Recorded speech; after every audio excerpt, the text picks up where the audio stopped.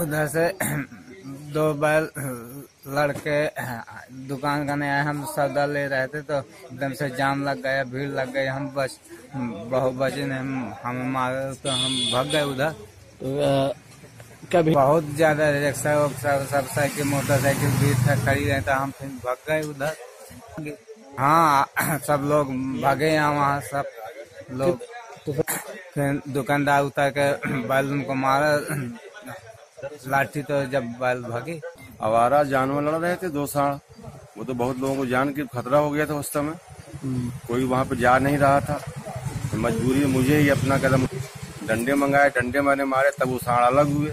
मुझे लगा मेरी दुकान गिरा देंगे। कोई व्यवस्था ही नहीं है यहाँ पे। जाम लग रहा है उससे घुस रहे हैं। नियंत्रण के नगर पालिका क्या काम कर समय समय पर हम लोग काली हाउस में को बंद कराते हैं। और नियमित रूप से ये कार्यक्रम चलता है।